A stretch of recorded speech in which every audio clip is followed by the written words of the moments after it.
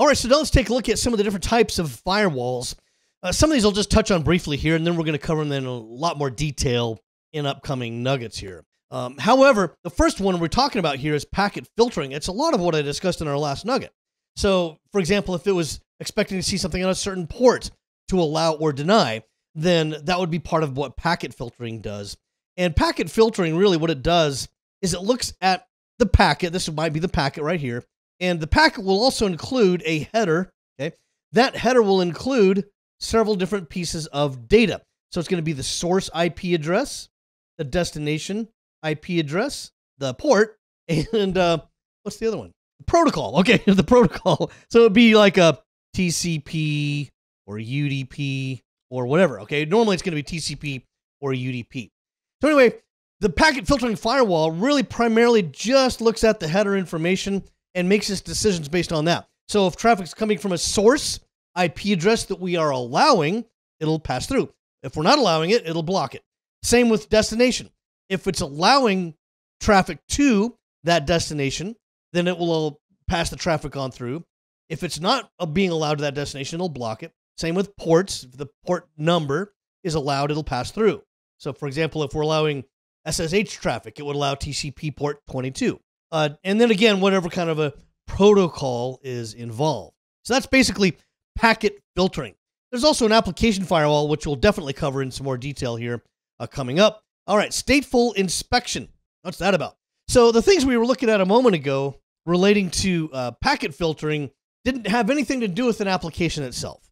So, for example, if we see oh, if we see traffic coming in on let's say TCP port 1433, which is a common SQL port, SQL database port, um, we see traffic coming in on that, but there's suspicious, suspicious how do you say the word? Suspicious contents in the packet itself. Because remember, normally packet filtering only looks at the header right here, but the application le- level, excuse me, stateful inspection firewall can look at the contents of the packet and it could say, uh oh, looks like there's a cross site scripting attack in there. So, guess what we're going to do? We're going to drop that packet. Uh, so, that's the kind of thing it can do. It can examine the contents, it can kind of, in a certain way, establish motive of what's going on inside of that packet, whether there's something malicious, for example. Or, I guess in this case of SQL, it'd be more likely to say, is a SQL injection. Let me put that on there. A SQL injection in that packet would be much more likely, I guess. And then there's stateful inspection. Now, what's that about? Uh, well, with this, uh, normally when we have clients in our LAN right here, and they're going through our firewall, and then we have, you know, let's just say a website out here somewhere. Uh, when they do that, what keeps what happens here is the firewall uh, keeps a table, a state table of outbound connections that are sourced from the local area network. And what's the significance of that? Uh, that would prevent somebody, just some you know interloper out here, uh, some hacker or whatever, from making an inbound connection on port 80 or 443, which would normally be this website, for example, because this is unsolicited. We never heard of this person, and all of a sudden they're trying to make an inbound shot at our firewall um, with port 80 or 443. Well, probably our firewall blocks port 80 and 443 unless you have an internal website, right? Okay, so that's probably going to be blocked. However, if we requested a website through port 40 or 8 4 can't say it 40 or 443 that's not right either 80 or 443 uh, then it knows that oh we already requested that from a website so only on this outbound and then the subsequent inbound reply connection are going to allow that to return to its original host okay so, in other words, if this host originally requested this website using these ports, then it will allow the return traffic back to that host. But if it's unsolicited, then we will deny that. And there's more to stateful inspection. Can also involve packet anal- deep packet analysis. Can dynamically create rules as it goes, depending upon the context of what connections are already there. And some of them may also do more packet analysis to determine if there's any uh, malware in the packets. Uh, and that would be at the application layer. But there's more to that that we'll discuss further on. Uh, next generation firewall. These are probably the sexiest firewalls out there. can I, am I allowed to say the word sexy in video? As long as it has to do with technology, they tell me I can. All right. But next generation firewalls, do just about everything we'll describe in the entire topic of firewalls. They're the most full featured type, and they're the most intelligent, uh, and they have the most flexibility in how you can configure them. Uh, we'll talk more about those later on. So let's also look at some packet filtering vulnerabilities, starting with IP spoofing. So remember, we have our packet here, and then we have the header right here.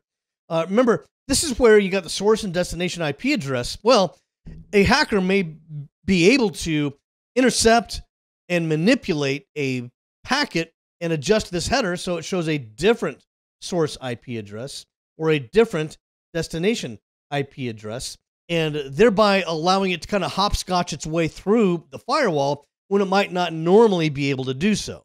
Okay. You can imagine some other ways this could be used. So maybe the source is as intended, but the answer, the reply that we're expecting from the host that we're communicating with should go to this host right here. This is the original intended intended host. Okay. Let's say it's got some IP address that ends in .10. However, if the hacker gets a hold of the packet and manipulates the destination, which is at .10 over here, the way it's intended, they might intercept it and instead send it to a fake host or somebody that's doing intercepting traffic or proxying it and then forwarding it on to its actual destination like this. Maybe this is dot 11 or any other IP address, doesn't matter what it is. So now with IP spoofing, they can take that packet, inspect it, manipulate it, change data in it, change prices in it, change whatever they want to in it, and then potentially forward it on to the intended host so that really kind of nobody could tell that anything went wrong. Okay? Or they might just be doing this to eavesdrop. They're not really changing any data except for the header information. So just doing that alone and intercepting data as it goes. So that's a potential vulnerability there. The other thing we might have here would be source routing specifications. So if I've got a router right here, I've got another router right here, and this one here is restrictive, and this one's permissive. Okay, so in other words, if we have someone trying to communicate with the network in here, okay, with servers and hosts and everything attached to it, maybe the normal route for the traffic would have been to go through the restrictive router, but based upon who we are or the source IP address that we have or whatever, uh, we might get blocked right there.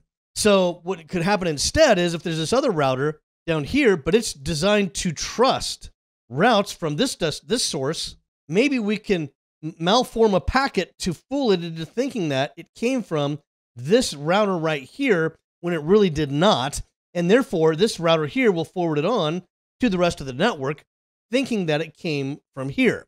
It's a little oversimplified, but that's the basic idea of how source routing can be manipulated there. Okay. Then there's the miniature fragment attack. So this one it has to do with IP fragmentation. Okay. So I'm going to oversimplify this, but you know we have our a packet, and you know we have our header right here. But maybe instead of sending this whole packet through as is, it is possible, and there's sometimes there's probably legitimate needs for this.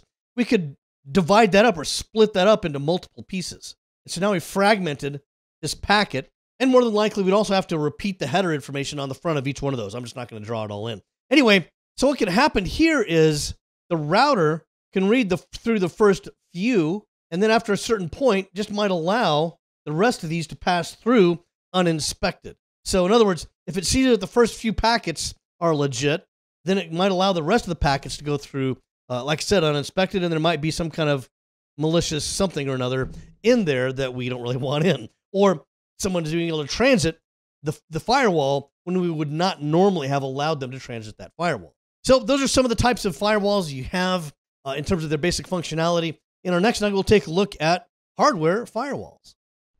Thanks for watching. Subscribe here to get the latest from CBT Nuggets. Also, if you're new to IT or are interested in an IT career, visit cbtnuggets.com and sign up for a free trial.